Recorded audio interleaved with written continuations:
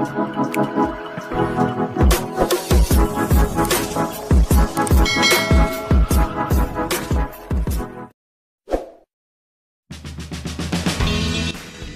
bosku, harga TBS sawit Sumsel jeblok turun Rp311,72 per kilogram, berikut harganya.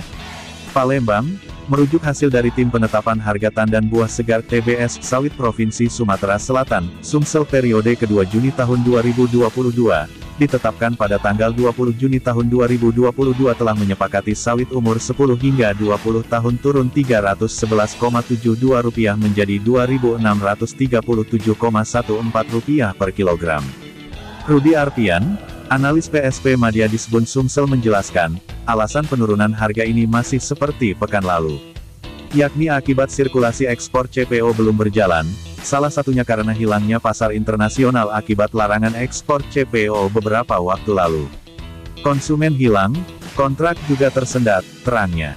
Dari catatannya, hingga awal Juni lalu baru tujuh perusahaan yang melakukan ekspor dengan kuota yang masih tergolong sedikit.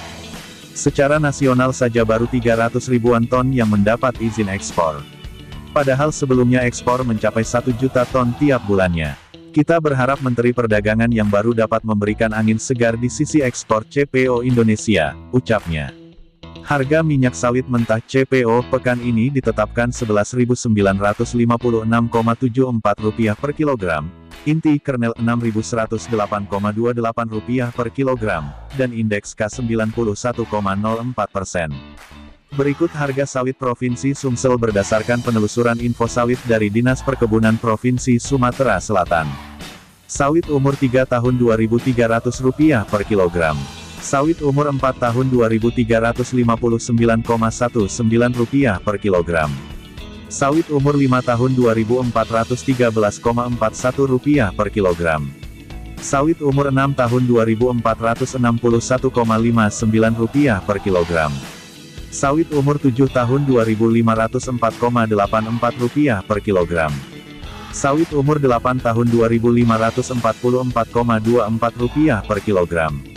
Sementara, sawit umur 9 tahun Rp2.577,62 per kilogram. Sawit umur 10 hingga 20 tahun Rp2.637,14 per kilogram. Sawit umur 21 tahun Rp2.602,63 per kilogram. Sawit umur 22 tahun Rp2.573,10 per kilogram. Sawit umur 23 tahun Rp2.538,10 per kilogram.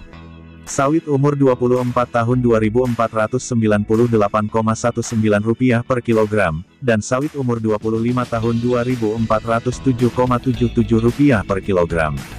Disclaimer, pemberitaan ini hanya untuk informasi harga TBS sesuai penetapan Dinas Perkebunan setempat, di lapangan bisa saja berbeda.